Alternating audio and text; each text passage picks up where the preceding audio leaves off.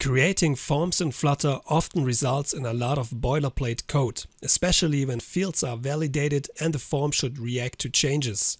The developers of the package Flutter Form Builder have addressed this problem and created an efficient alternative to the traditional Flutter forms.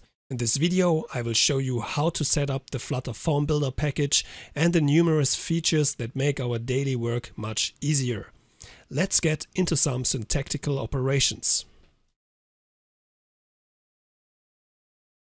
To set up the package, we first have to add the dependency in the pubspec YAML file. After that, we add the import statement at the top of the file in which we would like to use the package. Then define a global key which uniquely identifies the form widget and allows validation of the form. And don't put it into the build method as this would recreate the key on every build cycle. To make use of the datetime picker of the package, we also need the INTL package, which provides us with internationalization and localization facilities.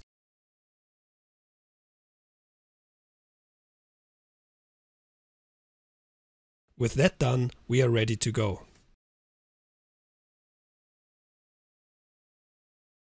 Now that we have everything in place, we can create the form builder widget and as we would do it with the traditional Flutter forms, we of course provide it with the global key by using the key attribute.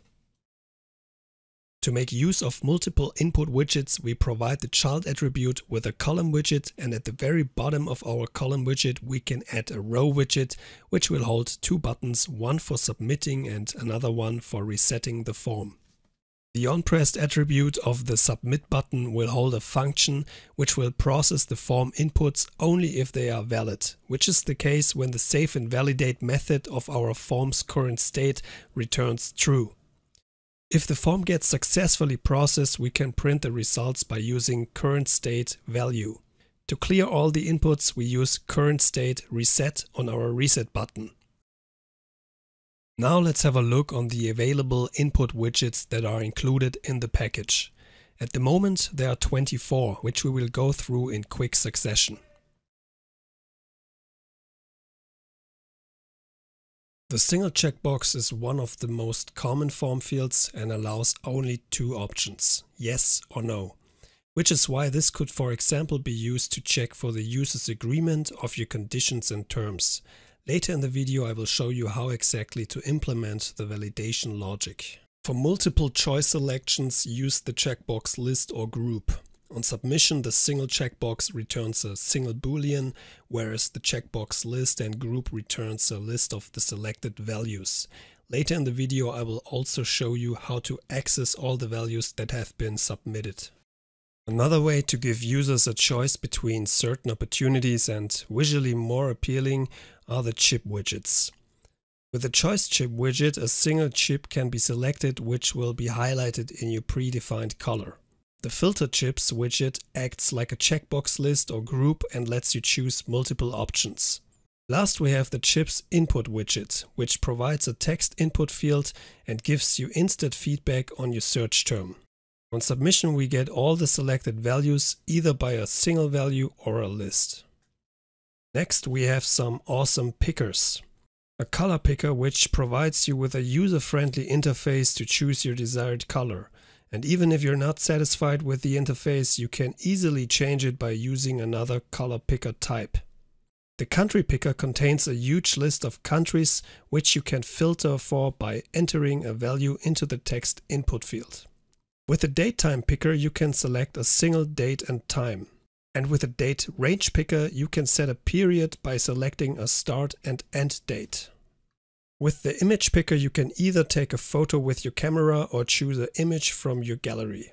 On submission we get the selected color with a hex value by the color picker, a country name by the country picker, a single datetime value by the datetime picker, a list of two datetime values by the datetime range, and a relative file path to your selected image.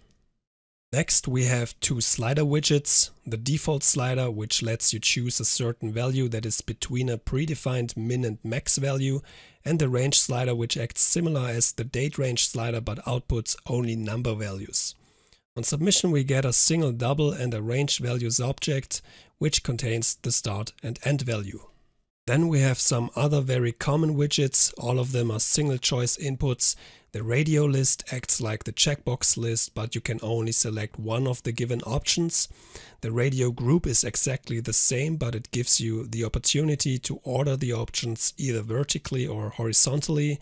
The drop-down list opens a selection when you click on it, and the switch can be turned on or off, which is similar to the single checkbox.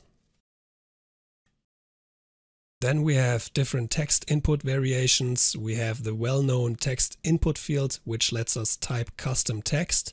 By default, it is set as a multi-line text field, but with the max line attribute, we can change that. We can also make it a password field by enabling the obscure text attribute. The phone field holds a long list of country codes and even shows the flag of the selected country.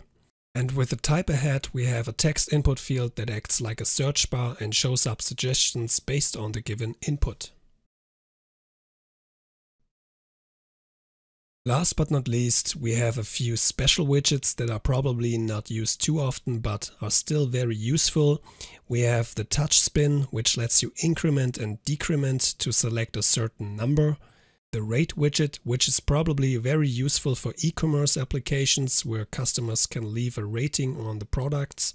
The segmented control widget, which is similar but highlights only the selected option. And finally, the signature pad, which you can use to draw or write your signature. I'm not quite sure why it's so laggy at the moment, but maybe it performs better on a real device. So much for the input fields, let's move on to the next topic. Let's talk about attributes. There are some core attributes that are supported by all input types I just mentioned. We have one attribute that is called attribute, which takes a string and represents the key in the form value map, which is created on form submission. This one is required in every single input type because it identifies the form field. The attribute is needed to access values of your form map and for initializing form fields with predefined values. To set an initial value of an input field, you can use the initial value attribute. You can either set it right inside your input widget or which I think is the most convenient way, you can set it inside your form builder widget. There you have to provide a map which holds the attribute names of all the input fields you wish to have an initial value. If I wanted the text input field to have an initial value of hello world, I would add the attribute as a key and set the value of this key to hello world. The read-only attribute is self-explanatory. It will set the input field as readable only and block the user from typing something in. With the decoration attribute, you have the freedom to customize the styling of any of the input widgets by providing a customized input decoration object. Next is my favorite one, the validators attribute. This one will take a list of form field validator objects and at the moment there are 13 built-in validators which we will discuss later in the video and you can add your own custom validators as well. Then we have the onChanged attribute which is also well known and should be self-explanatory. And last but not least, we have a value transformer attribute, which takes a function that will transform the field value before saving the form. For example, you could use this to change data types or to remove white spaces of a string before saving. Now let's have a look on the validators that are built in and how to create a custom validator. So first we have the required validator, if this is activated, then this forces the user to put something into the input field. And if this is empty, then we cannot submit the form. Get an error message, this field cannot be empty. So we have to type something in in order to process the form. Next one is the numeric validator. This one forces the user to put only numbers inside the text input field. So if I type something like this in, then we get an error message, value must be numeric. So we have to type a number inside this in order to process the form. Additionally, with the min and max validators, we can force the user to put a number inside the text input widget, which matches a certain range. So if I type minus 100, then we get the error message value must be greater than or equal to 0. If I type 101, value must be less than or equal to 100, but if we are inside the range, then the form gets processed. Same goes for strings. We can set a minimum length and a maximum length. In this case 10 and 15. If I type something in, I just type some numbers so we can see how long this string is. If I type the numbers 1 to 9, so we have a string that has a length of 9 characters, we get an error message value must have a length greater than or equal to 10. So if I type 0, then we can submit it. And if we are over 15, then we get another error message value must have a length less than or equal to 15. Next one is the pattern validator and this one forces the user to put something into the text input field that matches a certain pattern. In this case I took an email pattern which you can see here, it's very long just took it from the source code of this function. And yeah, as you can see, if I type now something inside, which is obviously no email address, then we get an error message, value does not match pattern.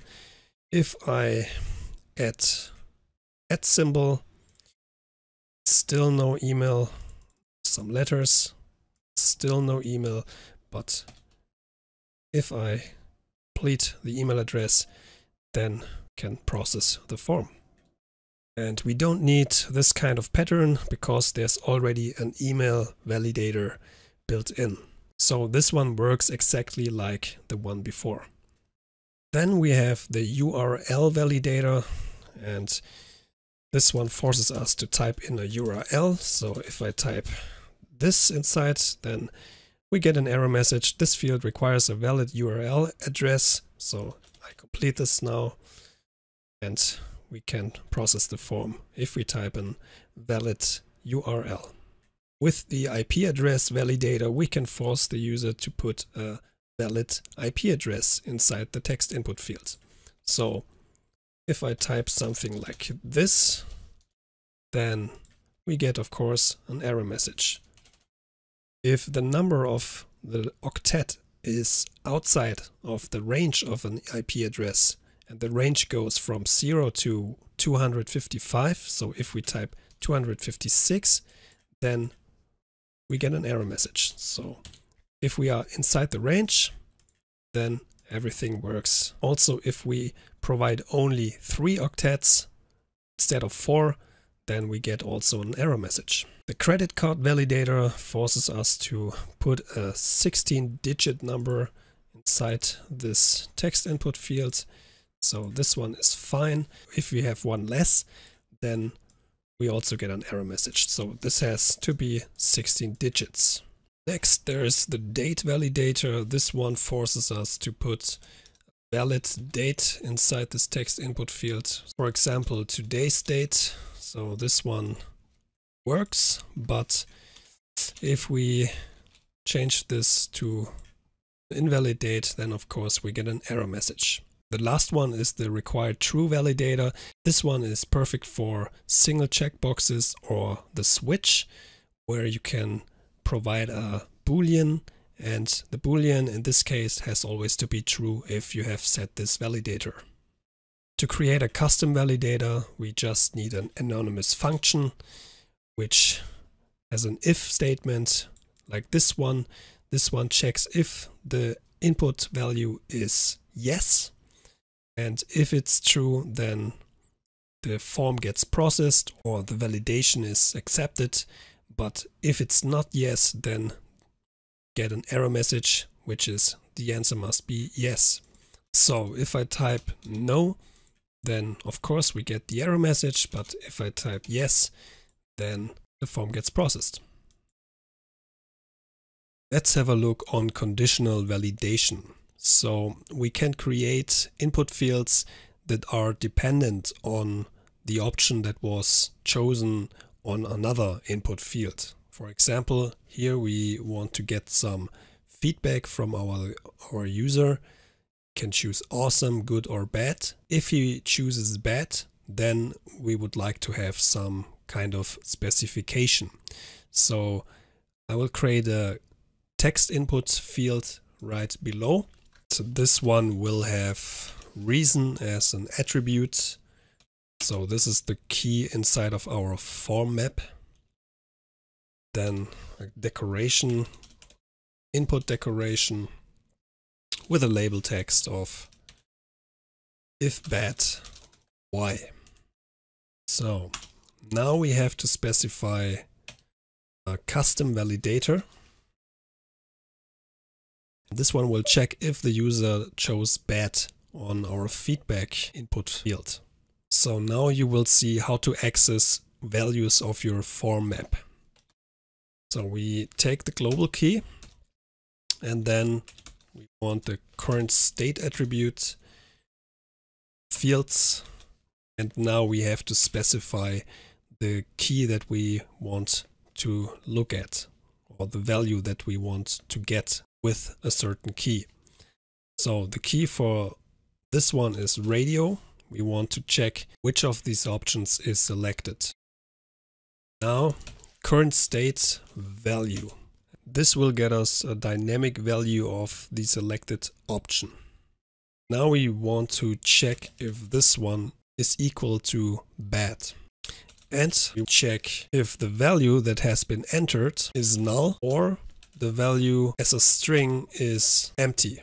And of course I made a mistake here. Before we can use the if statement, we need an anonymous function. So if bad has been selected, then the specification text input field has to hold some value. So let's save it. And now, if I choose awesome, we can submit the form. Good, submit it. Bad. Now we have to specify. The very last topic I'd like to cover is how to build your own custom form fields. First of all, you will need a form builder custom field object that also takes an attribute and form field. Form field itself needs a builder. The builder itself is a function which takes a form field state of dynamic. This function has to return our custom form field. And the widget that we will return is an input decorator which takes an input decoration with a label text and a content padding and some other styling attributes. And the child of this input decorator is a container with a height of 200 and the child of the container is a Cupertino picker with an item extent of 30 and the children will take this option list which I um, specified here at the top and this will convert it to this kind of view. The very last part of this video I'd like to thank Mr. Danvick Miller for creating such an awesome package and if you also like to pay some tribute to Mr. Miller then go to the PubDev package site and hit the like button or go to the GitHub site and give it a star.